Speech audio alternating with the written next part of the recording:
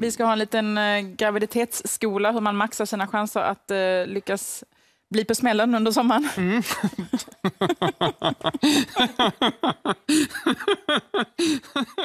glad, glad midsommar får man väl säga då. Det är, det är Nyhetsmorgon imorgon. Ha en bra dag. Nu är det Malou.